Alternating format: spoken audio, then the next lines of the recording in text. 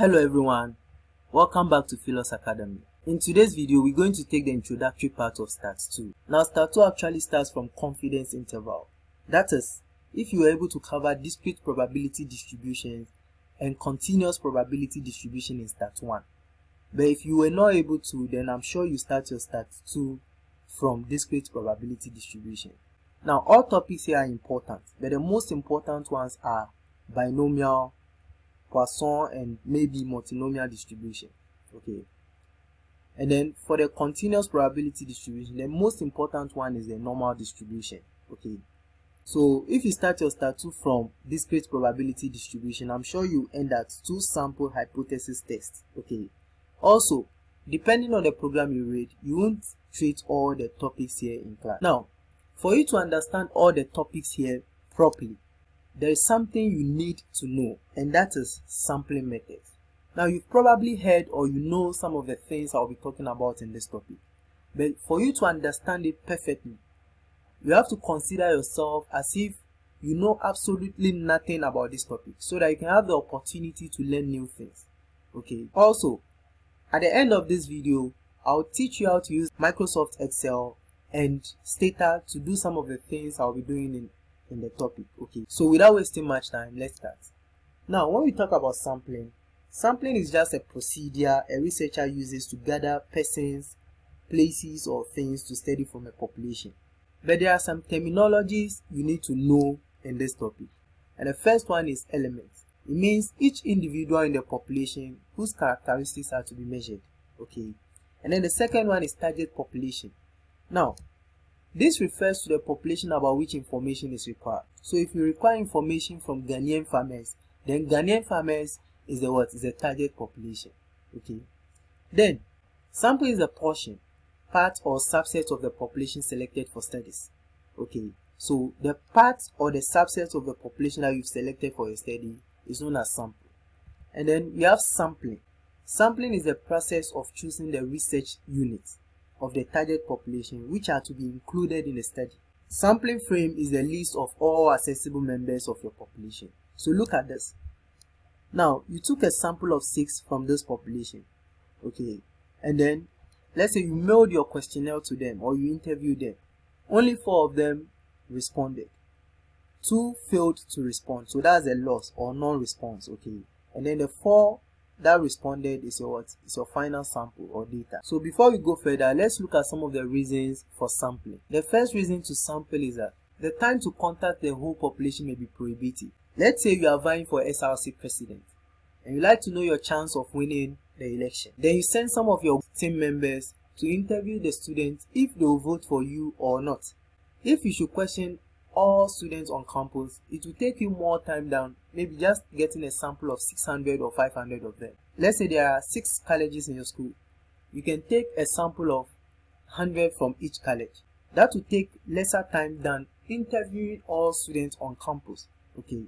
Another reason to sample is that the cost of studying all the items in the population may be prohibitive. If you should interview all the 80,000 plus students on campus, you are going to spend more than just getting a sample of 600 of them and then question them. Another reason to sample is the physical impossibility of checking all items in a population. Let's say you want to know the average weight of fowls in Ghana. You and I know that it's not easy to get all fowls in Ghana, measure their weight and then find the average. So you can just get a sample, take their weight and then find the average. Okay, let's say there are 16 regions in Ghana. You can get a sample of 10 from each region and then measure their weight and then find the average okay then another reason to sample is the destructive nature of some tests. Some tests are destructive. So if you should what? Use the entire population you end up destroying what? Everything. It's better you use a sample for that. And then another reason to sample is that sample results are adequate. Now let's say you want to know the average price of what? Tampico. Okay. Then if you should take all stores in ghana and then asking them of the price of let's say medium sized Tampico, you are just wasting time because the price range won't vary too much. Okay, so at some places it's 4 cedis 50 pesewas, some places it's 5 cedis. Okay, and that will repeat throughout the entire country. Okay, that 4 cedis 50 pesewas and 5 cedis will be repeating. So it's better you just take a sample and then find the average price. Now let's look at the types of sampling. Now, we have two types of sampling. The first one is probability sampling and the second one is non-probability sampling. The probability sampling is also referred to as random sampling and the non-probability sampling is also referred to as non-random sampling. Now, when we talk about probability or random sampling, for this, every element in the population has a known probability of being selected. That is a non-zero probability. Okay. And then for the non-probability sampling, elements are selected on the basis of the judgment or convenience of the researcher. For the probability sampling, we have simple random, systematic, stratified, and cluster.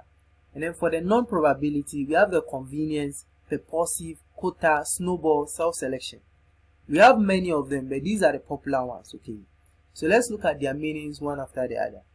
Now, when we talk about simple random sampling, for this, elements are randomly selected from the population. Now, we have many ways of what? Of performing simple random sampling. But I'm going to show you some two formal ways of doing it. And then at the end of the video, I'll show you how to use Microsoft Excel and Stata to, to select your sample too. To perform simple random sample, the first method is, let's say you want to know the opinion of regional ministers in Ghana on the current discrepancies in parliament on the mobilization and allocation of the COVID fund. Now, there are 16 regions in Ghana, meaning there are 16 regional ministers. Okay, then you would like to take a sample of four of them. Okay, using probability sampling, that's a simple random one. Now you can take a paper and cut it into 16 pieces. Okay, then you number the regions. So I have decided to number the regions in this manner. You can number it anyhow you want to. So Volta region is number one, Greater Accra region is number two, going. Okay, then the 16 pieces of paper, you write 1, 2, 3, up to 16. Fold it properly. You can place them in a box, mix them together. Then select your sample of 4 from the population of 16, one after the other, to get the what? The 4 sample you need. Then you interview those regional ministers. Okay. Now, another way of performing simple random sampling is by using the table of random numbers. So I have two tables here. Now, to use the table of random numbers, you number your population as well okay? So i have a population of 16 so i've decided to number them from 1 to 16 now the highest one is a two digit number.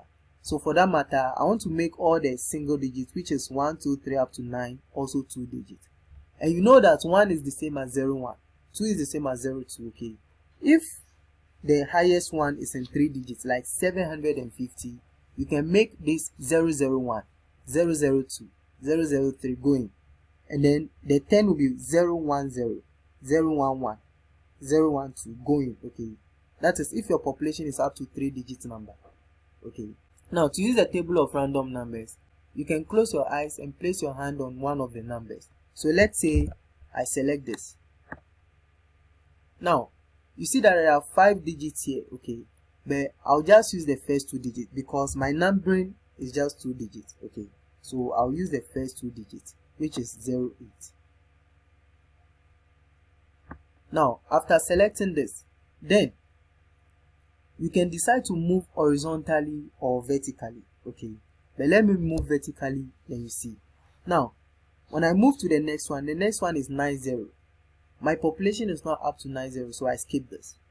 23, I skip it. 16, so my population is up to 16, so I select this as my second sample. Then 53 no 51 skip it 33 skip it 80 skip it 02 then i select this as making it three samples. So i'm left with one sample right? Then when you move to the next one 18 skip it. 49 skip it. 76 skip it. 10 then this will be your fourth sample. So we have 8 16 2 and 10 so let's check them. 8 is northern region. 16 is Ahafo region 2 is Greater Accra region and 10 is Upper West region.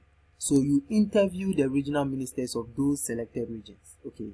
Now you can also decide to move horizontally. So if this is your first selection, the next one is 20, so skip it. 12, then you select it. Second sample, 35, skip it. 67, skip it. 69, skip it. 10, so this is your third sample. Then you move to the next row. Okay, so 97 skip it. 27 skip it. 90 skip it. 02 so this is your fourth sample.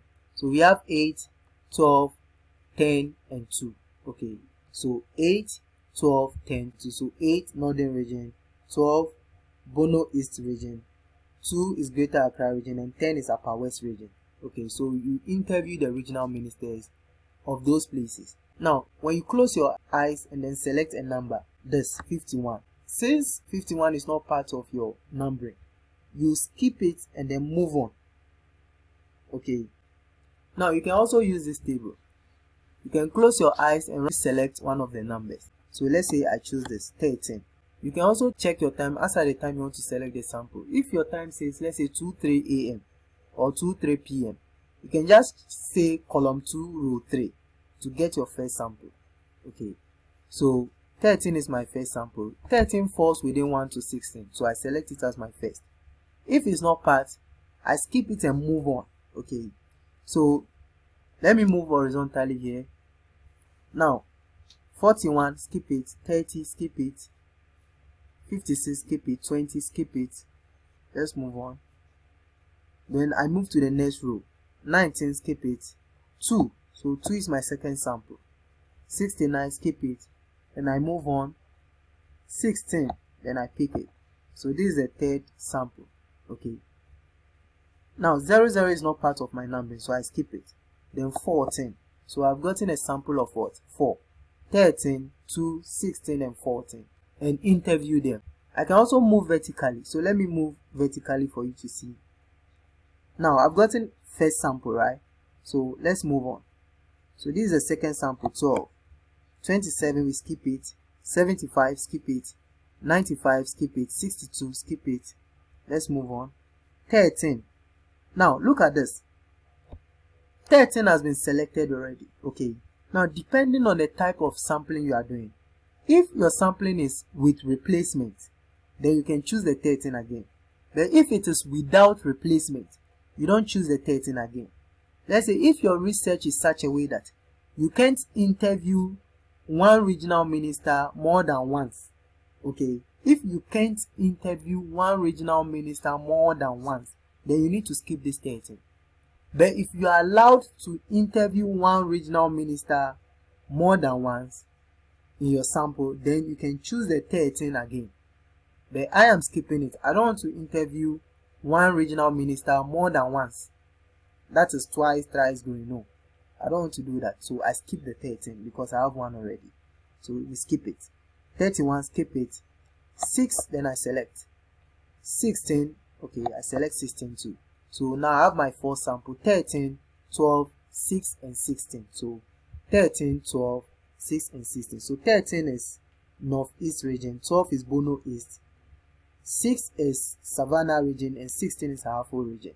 So you interview the regional ministers of those areas. So that is it. So let's look at the second one known as a systematic sampling. Now for the systematic sampling, it is such a way that every kth term in the population is selected and this is how we do it now you take the entire population capital n okay divide it by your sample size small n okay now if the population size is 500 then you write 500 but my population size is 16 because i have 16 regions okay so i use 16 then you divide it by now i need a sample of 4 okay so 16 divided by 4 now 16 divided by 4 will give you what? 4. So it means that I'm selecting every fourth position. Fourth position. Now to select every fourth position, this is what we do. Now you go back to your numbering. Now for the first four regions, you use a simple random method to get the first one among these first four. So you can use a table of random numbers or you cut four pieces of papers and write 1 to 4 on it then fold it and get one of them randomly just one now let's say i get central region as my first one okay now what you're going to do is that you move four steps away that is the fourth here the answer i've gotten here okay so you move four steps away from the first sample so we count one two three four so the second sample becomes western region then I move four steps away again. One, two, three, four. So that is upper east region. then I move four steps away. One, two, three, four. So that is Western North region. So I've gotten Central region, Western region, Upper East region, and Western North region. So I interview the regional ministers of those areas.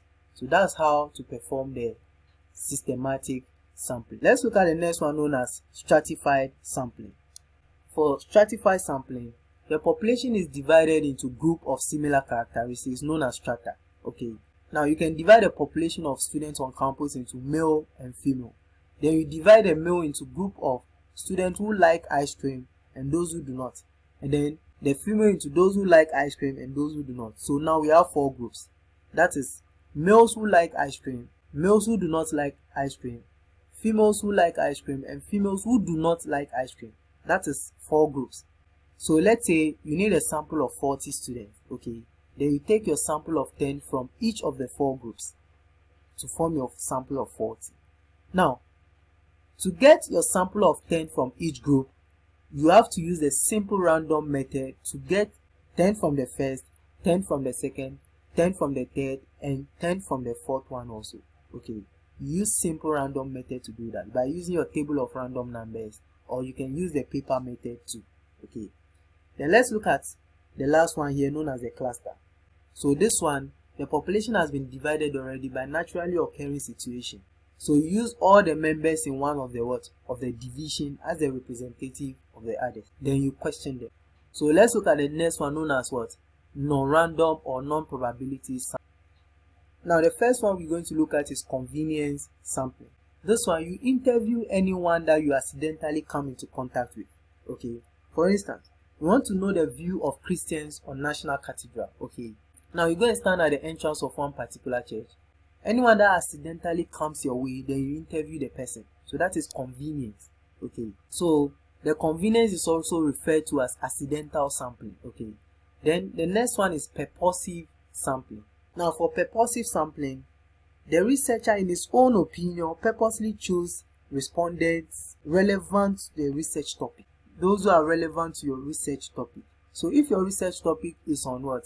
And farmers in ghana you choose farmers only okay so it's also referred to as judgmental sampling because it is the researchers in his own opinion that will choose those who are relevant to his what? To his research topic. Then the next one is quota sampling. For quota the researcher sets quotas of respondents to be chosen from a specific population group on certain basis such as let's say age group marital status or according to colleges in schools. Let's say i need a sample of 70 i can decide to take 12 from college of science 5 from engineering, 20 from College of Humanities and Social Sciences, and then 15 from College of Art and Beauty, 10 from Agric and Natural Resource, and then 8 from Health Sciences, okay, to form my sample. And then the next one is snowball. Now, for this one, it is such a way that when you get only one sample, that particular sample will lead you to another sample. For instance, you are finding information pertaining to drug users and then you are able to get only one drug user after interviewing that particular drug user. That particular drug user can lead you to other drug users because a drug user knows his fellow drug users. You get the concept? So that particular drug user will lead you to other drug users. Then from there you are getting more sample. The snowball is also referred to as chain or network sampling. Then the last one is self-selection now for the self-selection, the elements we use as sample, you do not select them. Okay, maybe you advertise and they come themselves. That what they have information on that. So that is self-selection. So let's look at the differences between probability sampling and non-probability sampling.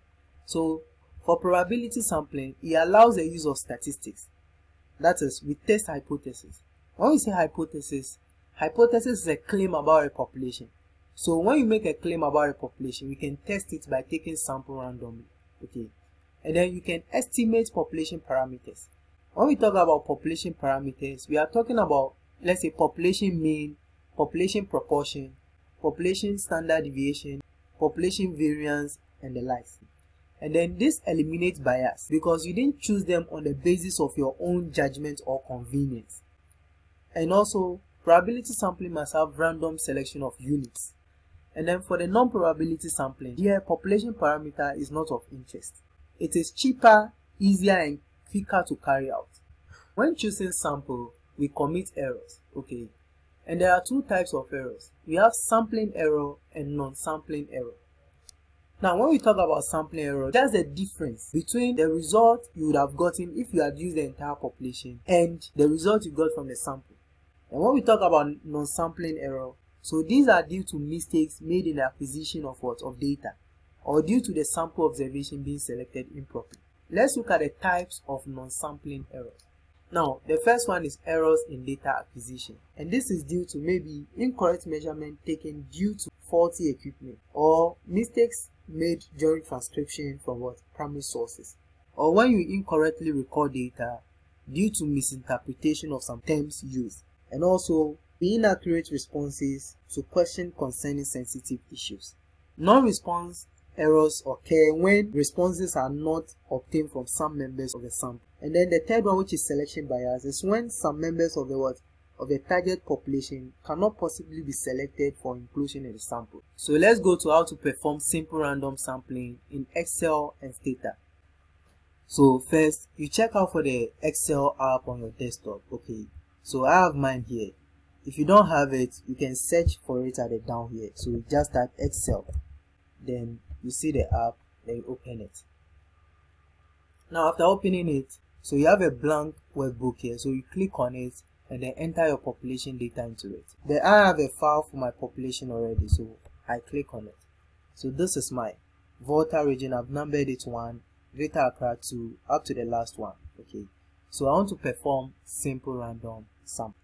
Now, to do this, the first thing you do is to go to the data tab at the top here. So you click on it. After clicking on it, then you look out for data analysis. So when you check through all the things here, you can't see anything like data analysis, right? So it's supposed to be at the top right corner here, but it's not there. Sometimes when you click on the data tab, you see it there. But if yours is also not there like mine, this is what you do. You go to file, then you go down to option, okay? So I can see option here, okay? So I click on more. So I have my option the down here, option. So I click on option. So after clicking on option, you have this and you click on add-ins. So after clicking on it, then you come to where the everything go here. Okay, so you click on it. So as you can see, you have analysis ToolPak, analysis ToolPak VBA, euro currency tool, solver add-in. So you check the box for analysis ToolPak. Okay, you check the box for analysis ToolPak. Then you click OK. So after clicking OK, now let's go back to the data tab. When you come back to the data tab, so you can see that I now have my data analysis here. You see that?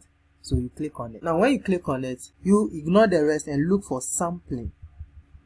Look for sampling. So I have sampling here. This is sampling.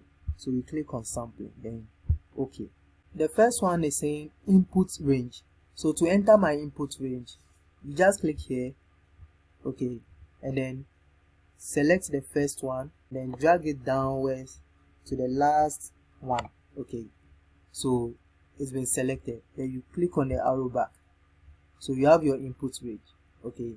Now this says labels. Now when i was selecting my input range i started from the first one which is number one i didn't start from the title.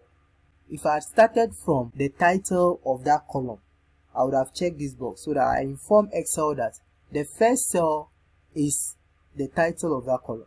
So you ignore this then you come to random okay? So you come here number of samples. So it means you should enter the number of sample that you need. So i need just four samples okay?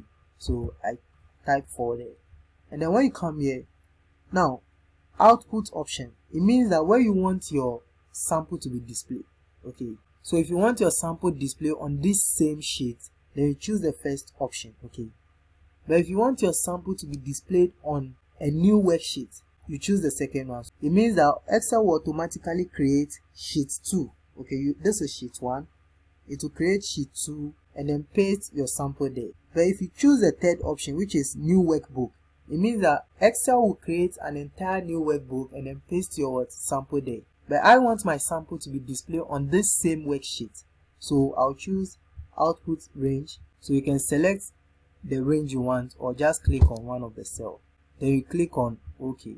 So you have 10 6, 1, 15. It means you should take 10, which is Upper West, 6, which is Savannah, 1, which is Volta region, and then 15, which is Western North. Now, to use SPSS, now to use Stata, you also look out for the Stata app on your desktop. I do not have the Stata app on my desktop. Mine is pinned at the taskbar, so I open it. So I have my Stata open. The file I'm going to select the sample from, I do not have it in Stata form. So I want to import it from Excel. Okay, so I click on File, then I come to Import, then I click on Excel Spreadsheet. So I'm importing Excel spreadsheet. So I browse, so I have mine here. Depending on the location of your file, you look out for it. Okay, so I select it and then open it. So after opening it, you can see it here. Now, Stata is asking you that import first row as variable name. Import all data as strings. Now, your first row is variable name. Okay, so you have to check this box. So you see that it brings it as variable name before you click OK. Now, you have the data in Stata, 16 observations and 2 variables. So you come to the command at the down here, then you type sample. Now you need 4 samples, so you click on 4, then comma, then count. Then you can enter. So next, at the same place, you type browse, browse, and then click on enter. When you click on enter, it displays what? The samples. So you have Oti region, Western region, Central region, and Upper East region. So you have your sample of four. So you can interview the regional ministers of the sample of four regions here. Okay. So I'll end it here. If you are new to this channel, please do well to subscribe so that whenever I post more important videos like this, you can always have access to it easily. Thank you.